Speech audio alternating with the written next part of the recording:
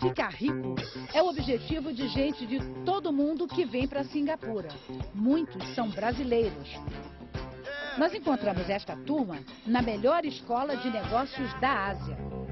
Quando Singapura tem disciplina, conhecimento técnico, dedicação, o brasileiro tem criatividade, flexibilidade e inovação, que junto pode criar uma combinação muito interessante. O professor mais conceituado é um carioca, que está aqui há 10 anos ensinando a arte da negociação. A maioria das pessoas estão aqui com uma intenção semelhante de eu quero trabalhar, eu quero dar o meu melhor, eu quero ajudar a crescer.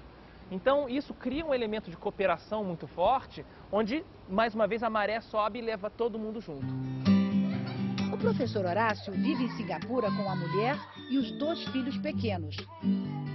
E é em casa que ele precisa realmente usar tudo que sabe sobre negociação. As crianças não negam que são bem brasileiras. E por que você gosta mais do Brasil? Porque o Brasil Mas vive num país em que até as musiquinhas infantis têm versões que falam de dinheiro. Na versão de Singapura, a gente comprou o CDzinho e a mesma música, que é uma música originariamente, eu acho que inglesa ou americana, aí o pessoal fala, e o dinheirinho faz blim, blim, blim. E eu fico assim, eu fiquei assim, nunca tinha visto essa versão e foi pra mim. Mas mostra que é o foco e a consciência tem um foco muito grande no, no dinheiro, no, no bem-estar. Não é só o excesso de preocupação com o dinheiro que assusta um pouco os brasileiros. A disciplina rigorosa também. Eu e o Horácio, nós jamais colocaríamos Luca ou Matheus num colégio local. Jamais. Porque a gente acredita que não é tolindo uma criança, o pensamento, o expressar de uma criança, que ele vai é, se tornar um adulto inteligente, capaz. É, ele precisa testar, ousar, transgredir, pensar, ser criativo. Não, o brasileiro é. Os meninos estudam numa escola internacional para estrangeiros.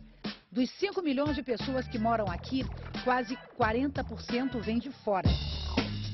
A população local vem diminuindo há muito tempo. Os casais cada vez têm menos filhos e o governo está preocupado.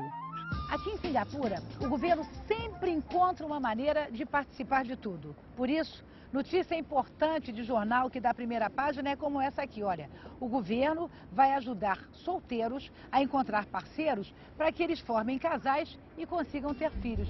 Dá para acreditar? Já entre os estrangeiros que vivem por aqui, este problema não existe. Oi, quem, quem é que vem abrir a porta para mim? Que linda, como ela chama, tudo bem? Tudo, Estela. Estela. A família de Luciane é um exemplo. Ela é brasileira, o marido alemão. O casal tem dois filhos que nasceram em Singapura. Eu sou de Singapura, sabe, gente? Eu não sou do Brasil, não. Que valores você pretende passar para eles? Se você chegou aqui, você tem essa quase que obrigatoriedade de fazer dinheiro, porque você tem que dançar conforme a música. Sim. Como é que você vi- convive com isso? Ah, eu passo primeiramente os valores que nós temos da, de família. Hum. É, e depois eles vão poder decidir o que eles vão querer, porque a gente quer a felicidade deles.